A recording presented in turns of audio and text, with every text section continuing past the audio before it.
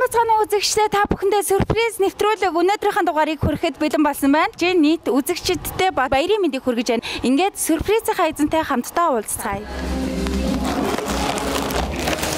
За сайн байна уу? Танд баярын мэндийг хүргэе. За баярлалаа. Сайн сайн байна уу? За ингээд бид бүхэн сюрприз нэвтрүүлгээс явж байгаа. Танд нэгэн гинтийн сюрприз бэлэг ирүүлсэн байгаа. Та хинээс гэж бодож байна? Хамт олноос юм болоо. Хаа. Эсвэл манай бяцхан шавнираас юм болоо. 9 сарын 1 гэдэг бол хүн бүхнийг ажилд ажилдаг сурагчид оюутнууд бүгд хичээл сургалгандаа шамдах ийм эхлэлийнх нь өдөр болдог. Тэгээд та энэ баярт өдрийг тохиолдуулаад манай үзэгчдэд бас менежтэй төвшүүлнэ. Баярлалаа. Ингээд нийт Монголын бяцхан шавнартаа, багш нартаа, амила цэцгэлгийг төгсөгч төгсөгч нараатаа 2018-аас 19 оны хичээлийн жилийн баярын мэнд хүргье. За баярлалаа.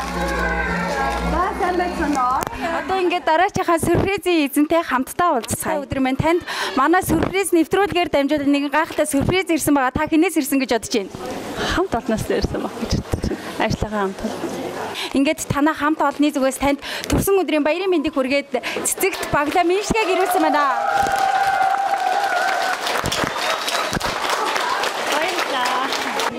За баярлалаа. Хамт олондоо бас хичээлийн шинэ жилийн баярын мэндийг хүргэе.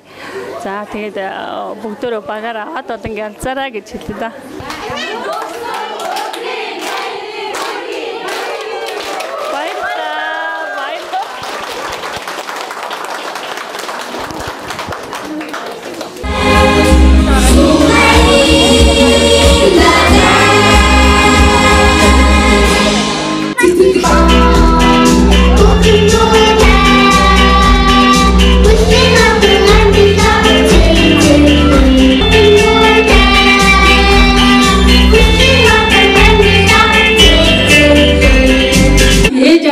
Та бүхэндээ энэ сайхан баярын өдрийн мэндийг хүргэж байна.